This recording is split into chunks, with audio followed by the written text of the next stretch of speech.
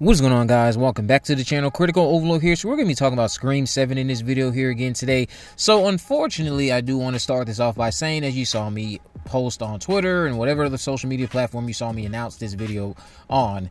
This is just going to be me speculating because unfortunately I wasn't able to dig into it a little bit further to try to see how much of this could be connected to Scream 7, but there are things related to it that we previously did hear about Scream 7 that make it worth speculating on and the context of it could indeed apply to a scene that hopefully unfolds in Scream 7 if it involves our Carpenter sisters the way I think that this scene might end up doing if again it's related to Scream 7. So Scream 7 was believed to have a working title of Blackbird and then that kind of lost steam uh, after they had been separated on the updated production weekly listing well, I'm here to kind of reignite it if you want to hop aboard this train with me after the video. Shout out to you, MTB, for sending this to me because it appears we have our first audition tape possibly for Scream 7. And if it is for Scream 7, it could very well be Sam or Tara Carpenter confronting their mother, Christina, who we know has been hyped up throughout the fifth and sixth movie I do want to express that obviously if this is if this actress in the video is reading lines for Sam or Tara Carpenter, that she ultimately of course would not be starring as either character, but she just could have simply read lines from the screenplay before auditioning for a newbie role or something else, and this is what managed to leak itself or not leak but be uploaded onto the Vimeo site. Anyway, the title of the tape has Blackbird in it.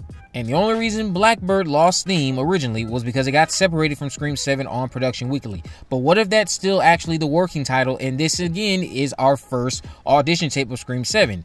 I think this tape is possibly detailing one of our Carpenter sisters tracking down Christina and confronting her because we know that they have us have a rift between them now.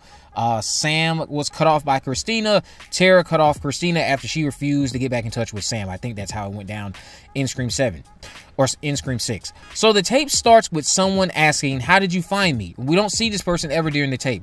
I think that's Christina. And the girl goes, It was a photo in a glossy magazine issue or some trade magazine that she saw in a doctor's waiting room.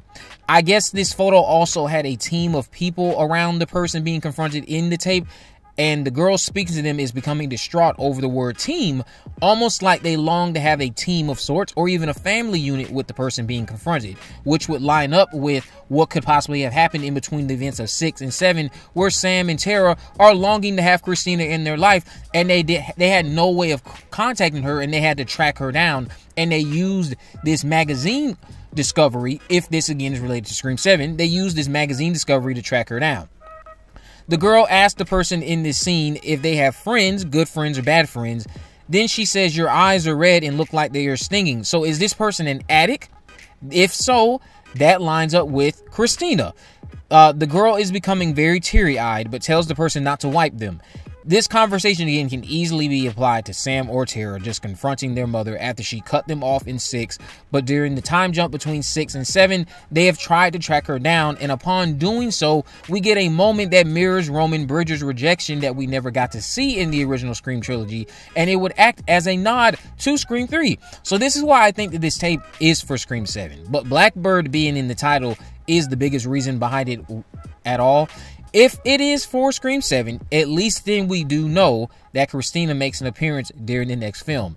Even if this isn't for Scream 7, the rejection of the Carpenters by their mother can be used to serve as a nod to Roman's rejection from Maureen if they want to play it up a little more in 7 before the family is repaired or before Christina is unmasked as the ultimate Ghostface this time around. Because I've seen people say, oh, well, they're just going to give the Carpenters a long lost sibling because they're following the formula. I mean, they can follow the formula of the trilogy by doing this instead. Having Carp having the Carpenter mother, Christina, rejecting her children. And then over time, as the story progresses, she either reunites with her children or she's unmasked as the ultimate big baddie of it all.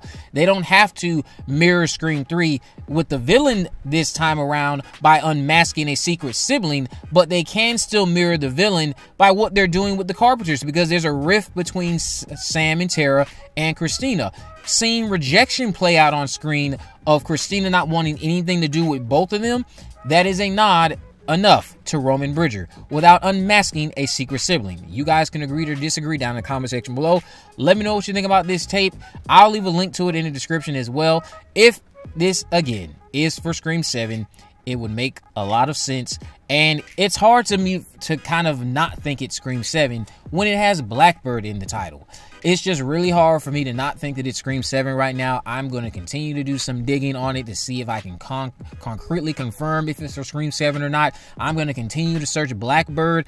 Honestly, I only want to talk about it because I'm curious to see now if this will get the video removed off of Vimeo. Because I would then say if it's removed, then I will continue to think that it's for Scream 7. And if you guys want to check it out, again, I will leave a link to it in the description. What do you think about what I have discussed in this video? Let me know down in the comment section below.